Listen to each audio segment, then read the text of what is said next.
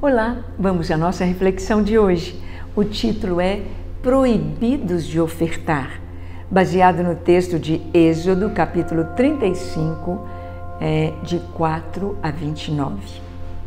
No versículo 6 nós lemos: Nenhum homem ou mulher faça mais obra alguma para a oferta do santuário. Assim, o povo foi proibido de trazer mais.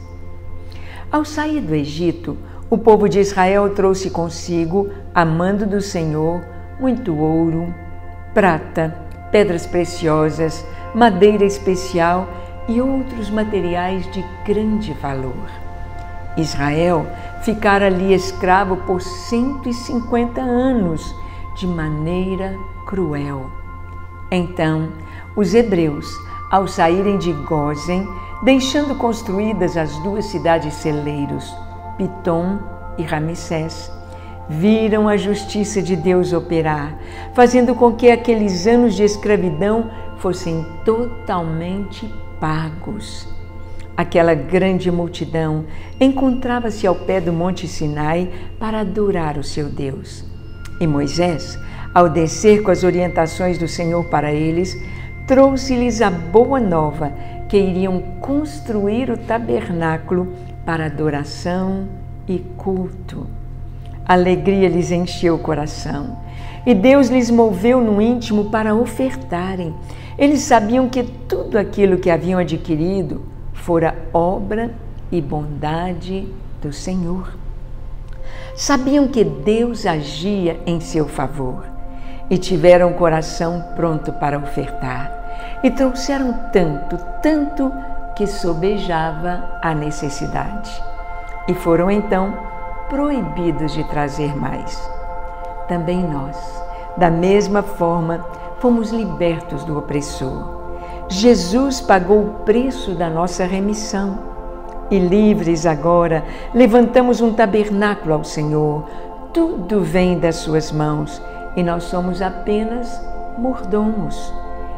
Tenhamos, pois, um coração agradecido e pronto para ofertar. Um pequeno poema. Louve ao Senhor todo homem, que por ele foi criado, por ele ter nos amado e mostrado na beleza da criação seu cuidado com toda a raça de Adão.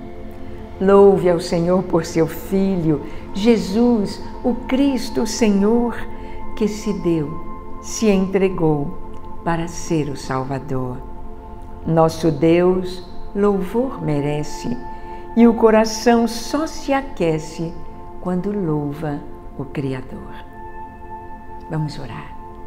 Pai Celeste, rendemos-te graças por tua tão grande libertação como tu nos trouxestes em Cristo esta libertação, pela bênção de sermos mordomos de teus bens. Dá-nos um coração grato a ti. Amém. Como é bom ler a palavra de Deus, como é bom meditar que podemos ofertar, que podemos trazer a gratidão ao Senhor. Faça isso, obedeça a palavra de Deus e desfrute da doce comunhão com Ele. Esta reflexão e tantas outras fazem parte do nosso livro Dia a Dia, disponível para você no Amazon.